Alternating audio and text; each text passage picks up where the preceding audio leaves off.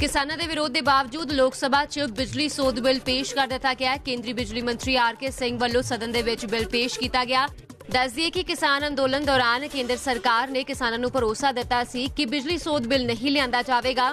ਪਰ ਕਿਸਾਨਾਂ ਦੇ ਉੱਤੇ ਭਰੋਸੇ ਦੇ ਬਾਵਜੂਦ ਕੇਂਦਰ ਸਰਕਾਰ ਵੱਲੋਂ ਲੋਕ ਸਭਾ ਦੇ ਵਿੱਚ ਬਿਜਲੀ ਸੋਧ ਬਿੱਲ ਪੇਸ਼ ਕੀਤਾ ਗਿਆ ਹੈ। ਕੇਂਦਰ ਸਰਕਾਰ ਦੀ ਦਲੀਲ ਹੈ ਕਿ ਇਸ ਬਿੱਲ ਦੇ ਲਾਗੂ ਹੋਣ ਨਾਲ ਬਿਜਲੀ ਵੰਡ ਦੇ ਵਿੱਚ ਪਾਰਦਰਸ਼ਤਾ ਆਵੇਗੀ ਅਤੇ ਬਿਜਲੀ ਸਸਤੀ ਹੋਵੇਗੀ। Mr. Speaker, sir, I beg to move for leave to introduce a bill further to amend the Electricity Act. ਕੇਂਦਰ ਵੱਲੋਂ ਲੋਕ ਸਭਾ ਦੇ ਵਿੱਚ ਬਿਜਲੀ ਸੋਧ ਬਿੱਲ ਪੇਸ਼ ਕਰਨ ਤੇ ਸੰਸਦ ਦੇ ਵਿੱਚ ਜ਼ਬਰਦਸਤ ਹੰਗਾਮਾ ਵੀ ਦੇਖਣ ਨੂੰ ਮਿਲਿਆ ਵਿਰੋਧੀ ਧਿਰ ਨੇ ਕੇਂਦਰ ਵੱਲੋਂ ਬਿਜਲੀ ਸੋਧ ਬਿੱਲ ਪੇਸ਼ ਕਰਨ ਤੇ ਸਵਾਲ ਚੁੱਕੇ ਅਤੇ ਕੇਂਦਰ ਤੇ ਕਿਸਾਨਾਂ ਨਾਲ ਵਾਅਦਾ ਖਿਲਾਫੀ ਕਰਨ ਦੇ ਇਲਜ਼ਾਮ ਲਗਾਏ